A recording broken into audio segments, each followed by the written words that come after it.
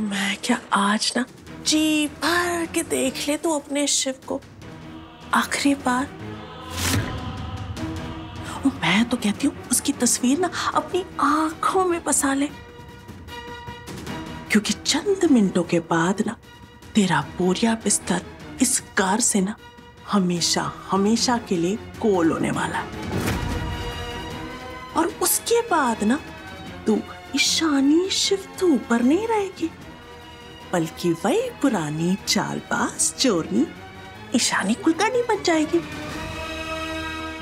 और मैं क्या वही करीबी के पुराने दिन? लेकिन टेंशन ना लेना कुड़िए। और मैं हूँ ना, और मैं क्या, मैं हर रोज ना तुझे घर की सफाइयों के लिए बुक करती रहूँगी।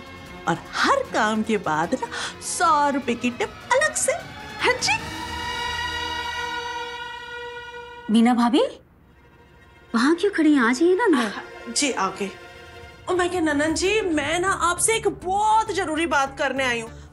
वैसे मैंने पता है कि ये टाइम सही नहीं है इस बात को करने का लेकिन ना हमारे प्यारे शिव पुत्र का ना इस बात को जानना बहुत बहुत ज़्यादा ज़रूरी है।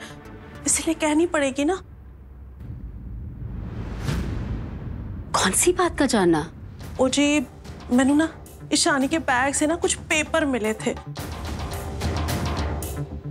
और क्या बताऊँ मेरे मुँह से शब्द ही नहीं निकल रहे कि उन पेपरों में क्या लिखा है। क्या लिखा है इन पेपरों में? और मैं क्या जी वो तो शिव और ईशानी के ना तलाक के पेपर हैं जी और उस पे ईशानी के दस्तखत भी हैं। अब ये ले यशपुता देख जरा।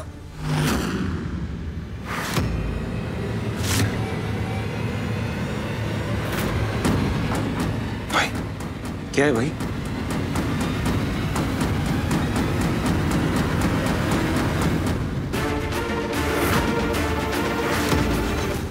शिवपुत्र मैंने तेरे को पहले ही कहा था, ये कुड़ी ना तेरे लिए ठीक नहीं है।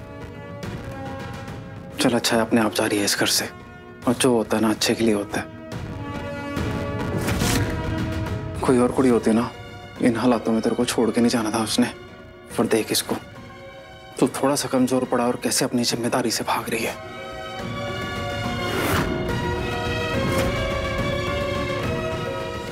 अब कौन सा नया ड्रामा है तेरा? और कितने दुख देने हैं तूने हमें? जब से तू शिव की ज़िंदगी में आई है, इसकी ज़िंदगी बर्बाद हो गई है। पहले बाथरूम वाला एमएमएस फिर पुलिस स्टेशन में झूठी गवाही।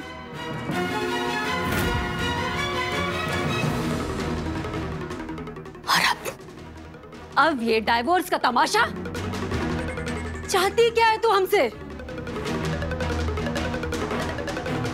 शशि ने तेरी कुंडली देखकर मुझे बता दिया था। कि तेरी वजह से मेरे शिव की जान खतरे में है। और देख देख इसे। जान जाते जाते बची है इसकी। शिव, बहुत हो गया तेरा गुस्सा, और तेरी जिद। ये लड़की ना तेरे लिए सही है, और ना ही इस परिवार के लिए। ये डाइवोर्स के पेपर ले, और साइन कर इस पे। और इस लड़की को हमेशा हमेशा के लिए अपनी ज़िंदगी से निकाल दे।